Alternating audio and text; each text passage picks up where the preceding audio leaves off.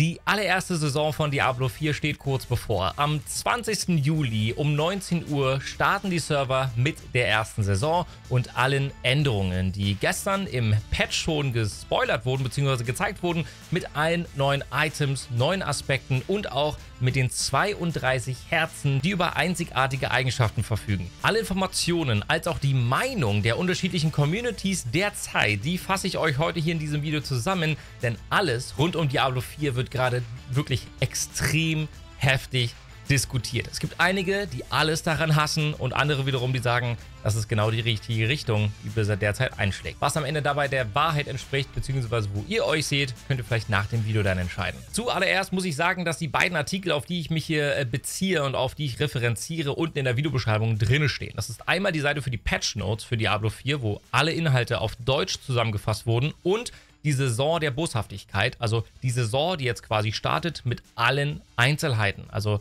hierbei dann insbesondere die 32 boshaftigen Herzen. Kommen wir aber ganz kurz zu den eigentlichen Patch Notes und auch der erste Aufschrei, der vonstatten gegangen ist, als der Patch gestern auf die Live-Server überspielt wurde. Und zwar sind sämtliche Änderungen, die ihr hier unten schon seht, jetzt auf den Live-Servern aktiv, wo auch viele Negativpunkte drin stehen, die in der Season dann kompensiert werden. Was meine ich damit? Zum Beispiel, dass bestimmte Schadensquellen runtergeschraubt werden, ihr aber selbst mehr Schaden erhaltet. Das findet ihr dann zum Beispiel auch ganz unten. Ist dann alles nochmal ganz äh, ja, übersichtlich äh, zusammengeschrieben worden. Das sind dann Dinge, die quasi kompensiert werden, solltet ihr einen saisonalen Charakter spielen der Grund, warum Diablo 3 dazu geführt hat, dass die Leute immer wieder zurückgekommen sind, waren die Saisons. Das heißt, Blizzard hat im Endeffekt eine Saison immer alle zwei, drei Monate ausgetauscht mit dann neuen Inhalten, mit neuen Items und vielleicht auch anders funktionierenden Builds. Das waren die Gründe, warum man immer wieder zurückkam. Und für Diablo 4 benötigt Blizzard jetzt das Gleiche. Das stößt aber dem einen oder anderen sauer auf. Und zwar deswegen. All die Vorteile, die ihr bei einer Saison nutzen könnt, habt ihr erst so richtig, wenn ihr das Spiel einmal durchgespielt habt.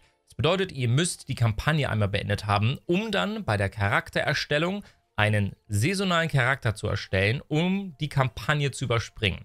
Das heißt, ihr könnt mit allen Weltquests starten, also allen Side-Missions. Ihr könnt auch die Bounties später machen und ihr könnt euch auch um die Höllenflut kümmern und so weiter und so fort. Das heißt, ihr habt von Anfang an einen Mount, ihr habt schon einige Spots freigeschaltet, das zeige ich euch auch gleich nochmal und könnt einfach genießen, das Leveln quasi von vorne beginnen zu dürfen. Am Ende geht es halt auch genau darum. Ich für meinen Teil bin jetzt niemand, der sämtliche Open Worlds komplett bis zum letzten Punkt erkunden möchte. Ich will mich auf das Core-Prinzip, also das, was mir Spaß macht, fokussieren. Ich möchte gerne grinden und einfach meine Charaktere leveln.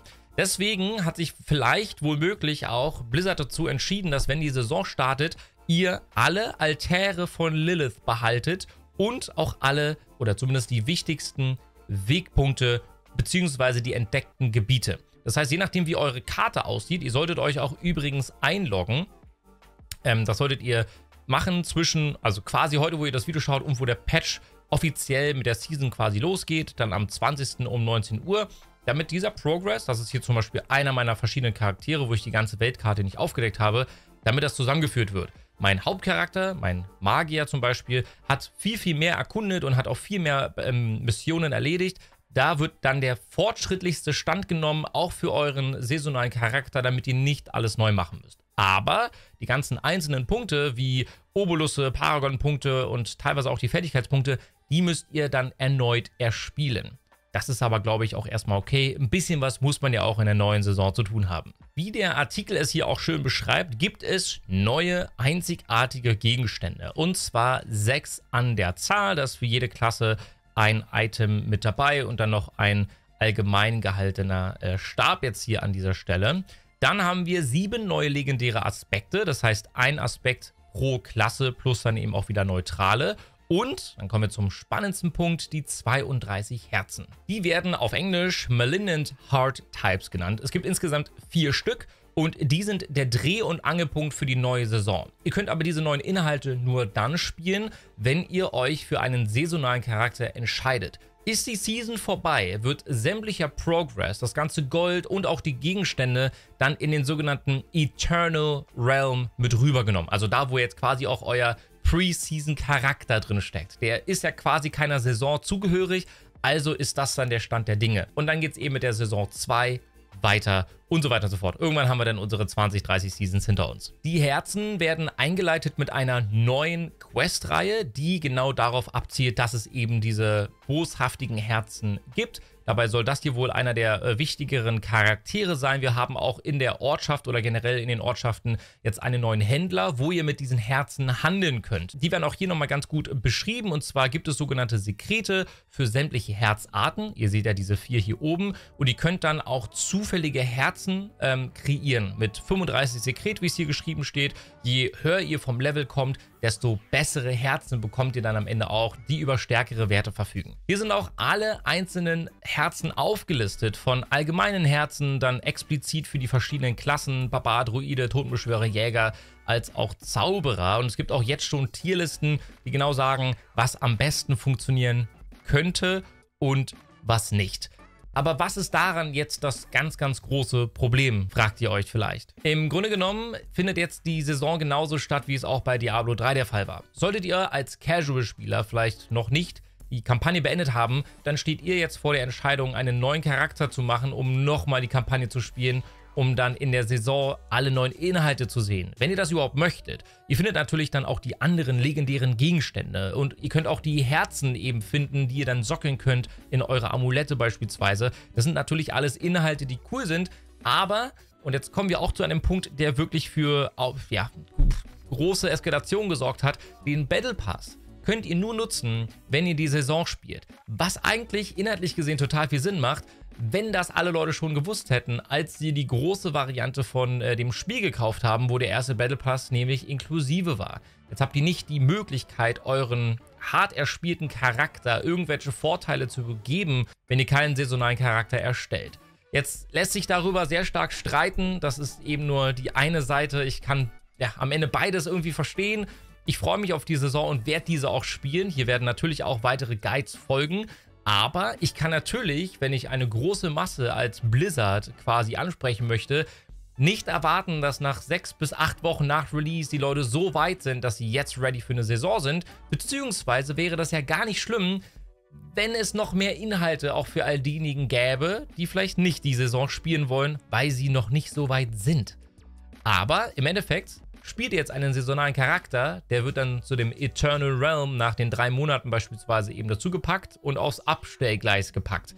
Den werdet ihr aller Voraussicht nach nie wieder spielen. Und dann fangt ihr quasi alle paar Monate immer wieder von vorne an. Was per se nicht schlecht ist, wenn das Leveln Spaß macht. Was hat denn Blizzard am Level-System geändert für die erste Saison? Zuallererst haben sie die Weltstufen ein bisschen angepasst, dass es mehr Gold gibt und dass die Monster auch mehr Gegenstände fallen lassen, was overall ganz gut ist. Und ihr habt jetzt mehr das Gefühl, dass ihr stärker werdet, weil einfach die Gegner langsamer mit euch skalieren. Das ist hier auch alles ganz gut zusammengefasst. Aber die Höllenflut zum Beispiel wird richtig krass genervt. Und zwar brauchen wir jetzt 250 anomale Gluten statt eben die 175 vorher. Das heißt, aktuell schafft man wohl mit diesem Patch ein bis zwei Truhen dann in der Stunde. Ob sich das so richtig lohnt, das sei mal dahingestellt. Denn Blizzard möchte uns dazu bringen, die Nightmare Dungeons zu farmen, als auch die Tunnel, die mit den Herzen kommen. Denn es gibt eine neue, ja, ein neues Dungeon-System, wo ihr dann explizit die Herzen farmen könnt. Und auch hier wird der Fokus sehr stark darauf liegen. In der Gruppe zu spielen wird jetzt auch ein bisschen schwerer werden, denn die HP der Gegner skaliert jetzt höher. 85% hatten wir vorher pro zusätzlichen Spieler in der Gruppe. Jetzt liegen wir bei 100%. Und die Albtraum-Dungeons verfügen jetzt über eine höhere Wahrscheinlichkeit, dass ihr die richtig starken Gegenstände bekommt. Also wie wird wahrscheinlich der Grind aussehen? Eine neue Saison beginnt. Wahrscheinlich werden wir immer mehr Herzen und weitere Aspekte als auch legendäre Items bekommen, was per se gut ist. Ihr fangt immer wieder von vorne an. Ihr habt eigentlich keinen Vorteil für eure alten Charaktere. Das ist genau wie auch bei Diablo 3. Und hoffentlich wird irgendwann das Late Game